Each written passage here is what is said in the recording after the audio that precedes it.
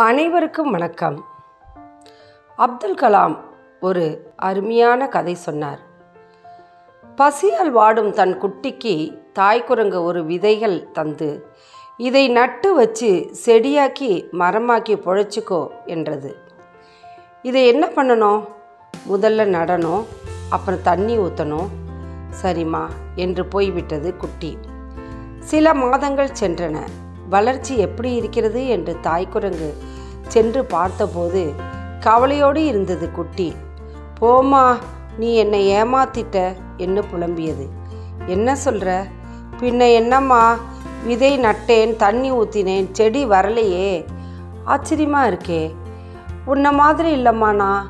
எவ்வளவு ஆசையாக தினமும் எடுத்து எடுத்து பார்த்தேன் தெரியுமா? முளைக்கவே இல்லைம்மா. இதுதான் இந்த பொறுமை இல்லாத தனம். தான் விருட்சத்தையே முடமாக்கி விடுகிறது. தன் பாரதத்தின் முன்னாள் குடியரசுத் தலைவர் அப்துல் கலாம் பம்பாயில் ராக்கெட் இன்ஜினியர் நேர்முக தேர்வுக்கு செல்கிறார்.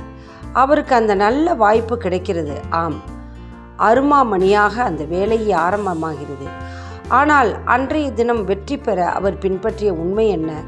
இதோ அக்னி சிறகுகளில் அவர் எழுதிய வரிகள் வெற்றி பெற வேண்டும் என்ற பதற்றம் இல்லாமல் இருப்பதுதான். வெற்றி பெற சிறந்த வழி என்பதை நினைவுபடுத்தி கொண்டேன். பதற்றப்படாமல் இருப்பதே பலம் என்றார் அப்துல் கலாம். நாமும் பின்பற்றுவோமே. நன்றி வணக்கம்.